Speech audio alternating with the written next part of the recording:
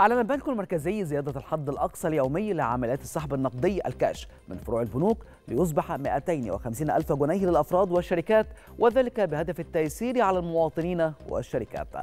وذكر البنك المركزي أنه تقرر أيضا رفع الحد الأقصى للسحب اليومي من ماكينات الصراف الآلي إلى 30 ألف جنيه مطالبا البنوك بمراجعة السياسة الداخلية لتعكس الحدود الجديدة مع تحديث سياسة الحدود القصوى للسحب النقدي للعملات الأجنبية.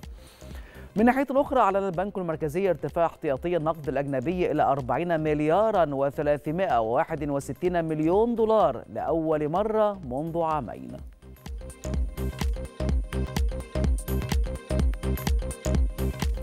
في سوق المال أنهت البورصة المصرية تعاملات جلسة اليوم بارتفاع جماعي للمؤشرات مدفوعة بعملات شراء من المتعاملين المصريين بينما مالت تعاملات العرب والأجانب للبيع وسط تداولات بلغت 4 مليارات و800 مليون جنيه.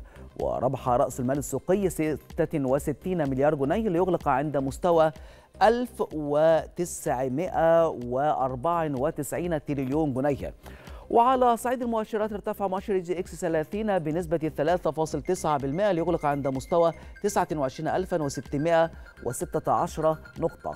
كما ارتفع مؤشر الشركات الصغيرة والمتوسطة EGX 70 متساوي الأوزان بنسبة 2.36% ليغلق عند مستوى 6696 نقطة.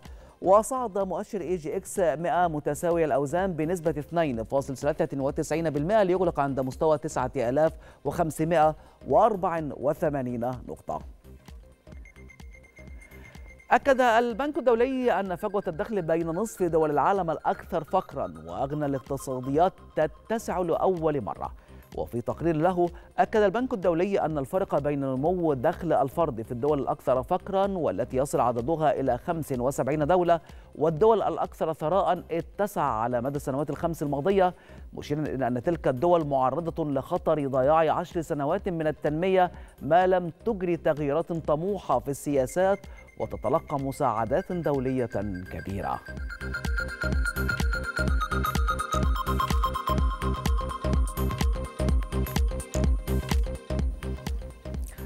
ارتفعت مبيعات التجزئة في الولايات المتحدة خلال شهر مارس بأكثر من المتوقع وسط قفزة في إيرادات متاجر التجزئة عبر الإنترنت. في مؤشر آخر على أن الاقتصاد الأمريكي أنهى الربع الأول على أرض صلبة. وقال مكتب الإحصاء التابع لوزارة التجارة الأمريكية إن مبيعات التجزئة ارتفعت بنحو 7% خلال الشهر الماضي.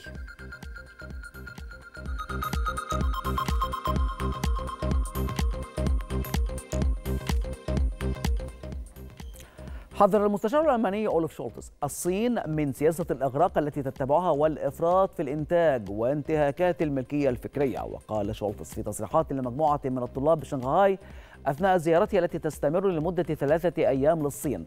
قال إن السوق الأوروبية مفتوحة للسيارات الصينية بشكل عادل دون انتهاك حقوق الملكية الفكرية.